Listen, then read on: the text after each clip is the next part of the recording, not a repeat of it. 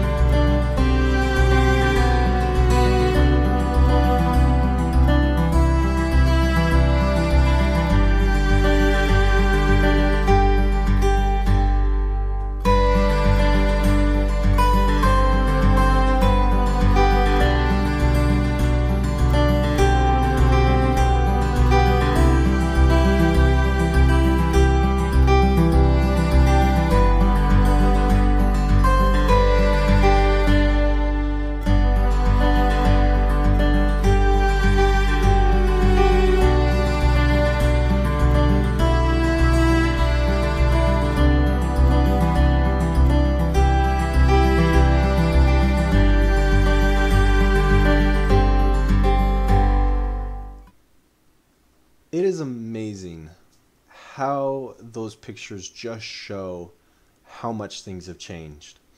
And I want to talk about this change because if I remember right, this was not something that I was planning on doing.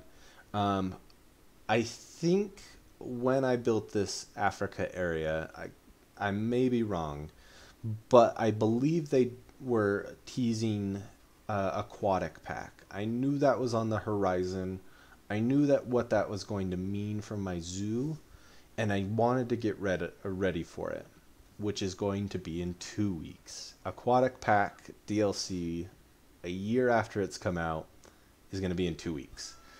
But um, I needed to get rid of ready for that, and I wanted to go more of a zoo thought. My, like my thought process was, I need to get this more to be a zoo, and from what I remember was the buildings that I had for my Africa area were not zoo. They were too big, too grandiose.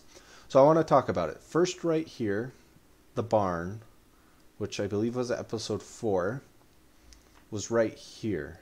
I really liked it, but you'll understand this more in episode 16, but this area right here needed to be cleared. This whole area because this is where I was going to put aquatic pack, which means I had to make Africa smaller. And at the time, I didn't have the Africa DLC pack. I didn't have that. It was just default zoo animals that were thrown in here. So, um, yeah, that's what I did. So I still have the monkey house over here. Um, and I just kind of refocused it. One of the big things that I noticed when building this was there was no dead ends in this spot. There had to be all loops that connected. Um, and so that's what I did.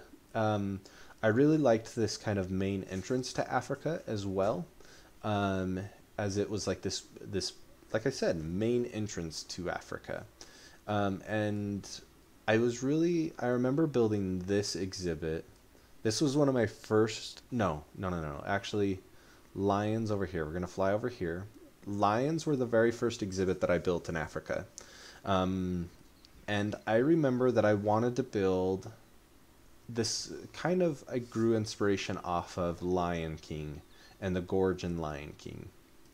That's why you have this rock formation like it is, is that they could come out here like they do in Lion King, Pride Rock, and they could stand out here. Unfortunately, they don't really do that but this like beautiful gorge and the guest could have experiences looking at this um, and then oh let's actually these might be unbox all animals um, and so like i built this exhibit with like the the fencing and everything to kind of keep them in here. I really like this exhibit um, as like this gorge. And then I had to go and cut in here of like this um, indoor area with like an observation point up here for the zookeepers to observe them and feed them meat and kind of just different things in here. And for them a place to get out of the cold temperatures. Because it does snow in my zoo. But uh, yeah, I just, I really liked this exhibit of of the lions and you can see it's deep like i like that it's deep and it's it just looks really cool um, the next thing that i wanted to do because I built this kind of area right here, um, and then I had to, I wanted to bring a lot of my, like my zebras from over here, like my, yeah, my zebras and stuff, and bring them up here. Um, and so I wanted to make a grasslands. In my other series that I like my first full release zoo, I had I was working on the same time or right before this of like a huge grassland area and I brought that idea over here and I have this really cool Passover bridge um, and I really I think it's so cool. I remember building this and being very frustrated about it but uh, it is so cool like there's a ton of poop right now but like you have two sections of this zoo or this this grassland area um, and then I this warthog area I really wanted to to have, but I wanted it to fill a part of the grassland area of like maybe they had recently built this fence to build this warthog exhibit, and so like there's this gate. Um, and just a really cool warthog exhibit, um, like this mud pit right here. I don't know. I just really like this this exhibit.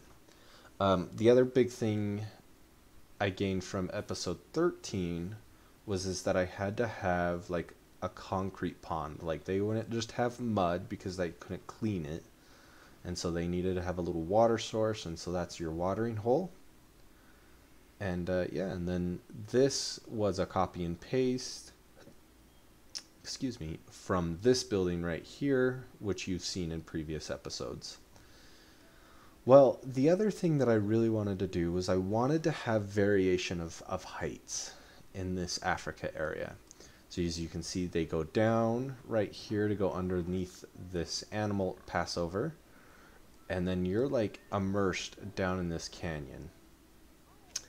Um, this one is a restroom building, but this one I gained inspiration from episode 13 as well as an exhibit. So these are all like your Africa exhibits um, down in this building. Um, and then over there is our um, hippos, which I'm going to go over to now. So I remember building this exhibit and I built it all out and like cemented this. This was just a huge hole and I cemented it all and put the original like big hippos in here, and I had two and because like I transported them old from the old save, and they didn't fit. So these are the little pygmy hippos, the little ones. As you can see, I think I have four in here. And I think that works out a lot better. Um, I'm really sad I don't get a regular hippo, but pygmy hippos are so cute. Um, and then the elephants is my last animal in this in this area. Um, same thought. I wanted them to come over. I don't remember what zoo I gained inspiration for them coming over to a different area. Um, but this is like their backstage. Nobody can really see back here, and this is their front stage um, to be able to come out and and walk around. Um, but I wanted to have like a, an extra that something a guest could pay extra for, and that is this area. So my thought is is you would come in here and like you could come and bring field trips in here and they could talk about the elephants, But if you paid extra money, you could actually go out here and take care of the elephants for like 50 bucks or something. But anyway, I also, one of the things I really like is this area, this watering trough. You can actually see water coming in. And then right here, it looks like it crosses over and water falls in to the pygmy um, hippos uh, I just really liked that effect. I thought it was really cool. And then this is just like this serene place to eat food and watch the, the pygmy hippos down there. I really, really, really like this area. I thought this was some of my best work. I thought I, I got it. I, I think I built this in about three or four days and uh, I think it turned out really well. I, th- uh, in my opinion. One other thing I did in this episode, um, it again in preparation for the aquatic pack, was I needed to rebuild the backstage, and which meant I had to move stuff around. So this was the original, like road right here, I believe um, if you if you look at um, the backstage photos, which I'll put up on the screen, the before and after. Um, so as you can see, here's the main road coming into this old backstage, and it goes straight out to the path. Where we look at this now, the road is off to the side with a main portion of it going along the back of the zoo, which was crucial. Um, the other thing that needed to happen was I needed to get ready for the aquatic pack over here, and I needed to get uh, some more support um, buildings in. So I think this is just like garages. Um, and then just like different so like this is i think a zookeeper yeah just tons of staff rooms um and so yeah i just like I thought that this was a better change of than where it is, and this even changes again as I like work in between 16 and 17, episode 16 and 17. This changes again after I've built the aquatic pack. Anyway, I've rambled for 11 minutes talking your guys' ear off about Africa. I want to talk about for the last portion of this video, I want to talk about the Africa DLC. Because the Africa DLC is now out. When I built that, it wasn't out. I built this a year ago. So my plan is to uh, eventually implement these animals. You'll see this in episode 16 in two weeks. I have a very big portion of grassland right here um, when this episode comes out, this will be a day after the North American pack comes out. I plan on doing North American animals kind of right in this area and right here with maybe like Africa filling out right through here. This will make a little bit more sense next in 2 weeks when that episode comes out or this episode comes out a day after our North America excuse me, in two weeks after this episode comes out, will be episode 16, introducing the aquatic pack. Epis- in four weeks from when this episode comes out, we're doing a South America area. Give you a hint, it's over here. And then episode 18 will be the North American pack in six weeks, which I know six weeks is a long time away. Um, but it's just kind of how the cookie crumbles, to be honest. So um, please stick around next week. Aquatic Pack. That is going to reshape all of this right along here and kind of really fill it out. I'm so excited for you guys to be joining me and me to be back in Planet Zoo because of these episodes coming out. I need to build episode 17 still. I'm in the middle of building it and I'm having a ton of fun building these epi- and uh, building these. Um, anyway, thank you guys so much for joining me on episode 15 of Planet Zoo, Union County Zoo. Um, if you like this video, go ahead and leave that uh, like down below. And uh, any suggestions on on uh, uh what what uh, what we should do um, moving forward. Like I said, I'm building over here the South American area.